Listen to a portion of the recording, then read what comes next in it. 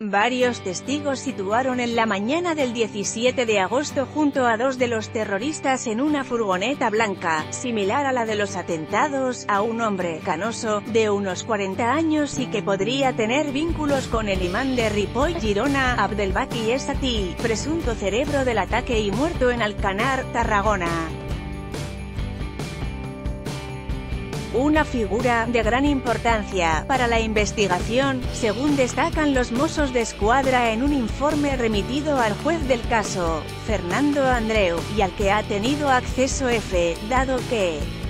los testigos le sitúan de manera directa con varios de los terroristas apenas unas horas antes de que Jones Sabopsia acabe en vistiera contra centenares de personas en las Ramblas de Barcelona.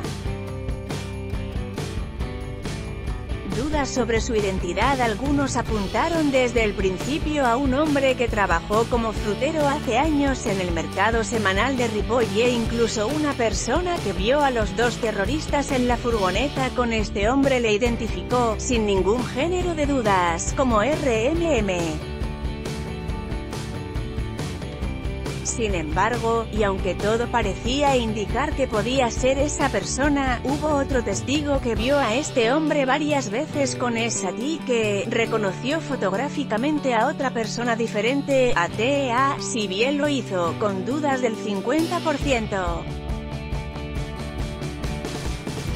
Los mozos se pusieron tras la pista de ambos para confirmar su vinculación con los atentados y las indagaciones realizadas seguían conduciéndoles a RMM, quien, según comprobaron, había trabajado hacía años en una empresa de servicio de venta ambulante en el mercado del municipio, como señalaron los testigos. Juicio de los investigadores que una testigo reconociese a un vecino del pueblo de hace muchos años, y se confirmase que era frutero, como ella manifestó, llevaba a pensar que podía haberse llegado a la identificación de la persona, que acompañaba a dos de los terroristas la mañana del 17 de agosto. En cualquier caso y para no dejar ningún cabo suelto, el pasado marzo, los Mossos remitieron el mencionado informe al juez de la Audiencia Nacional en el que solicitaban la fotografía del documento de identificación de extranjero de RMM. El objetivo era que el testigo que en un principio no le reconoció viese una foto más actual del sospechoso. Los testigos le identifican como un hombre marroquí, quizá rifeño, de entre 1,70 y 1,80 metros de alto aproximadamente, de unos 40 y 42 años con el pelo corto y canoso, delgado y afeitado. Cercano a la célula terrorista el hombre canoso, fue visto en varias ocasiones junto con los miembros de la célula. Primero, un testigo le vio entrar en varias ocasiones al piso de Sant Pere de Ripoll, donde es aquí, muerto en la explosión de Alcanar, Tarragona, se reunía con algunos de los terroristas. Después, ya en la misma mañana del 17A, una mujer que se encontraba desayunando en Ripoll, junto a un amigo, le vio llegar en una furgoneta blanca similar a la de los atentados junto a Younes Abou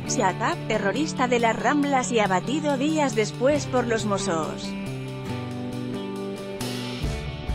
Ambos recogieron a Mohamed Chami abatido en Cambrils, Tarragona, y, tras hacer, o una broma, a Younes que la testigo no supo explicar, la furgoneta arrancó, si bien no pudo confirmar con seguridad si el hombre canoso se marchó con ambos terroristas.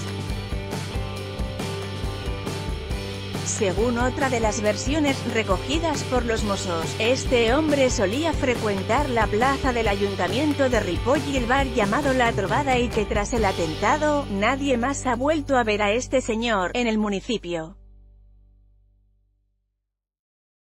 Otros revelaron que solía ir a la mezquita antigua es fue imán de la mezquita nueva de Ripoll. Por el momento, se desconoce si los mozos han cercado la pista al sospechoso o si han averiguado si intervino o no en la preparación de los atentados, en los que murieron 16 personas y un centenar resultaron heridas.